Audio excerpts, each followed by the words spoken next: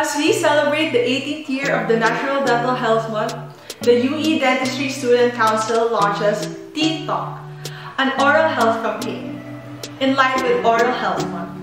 As future dentists and health professionals, it is our duty to promote the importance of oral health, especially amidst the pandemic. Taking care of one's oral health is important to maintain. Having a healthy mouth, teeth, avoid tooth decay and oral diseases that may interfere with our lifestyle. I am Nicole Abarro of the UE Dentistry Student Council and we work hand in hand in promoting oral health for this year's National Dental Health Month.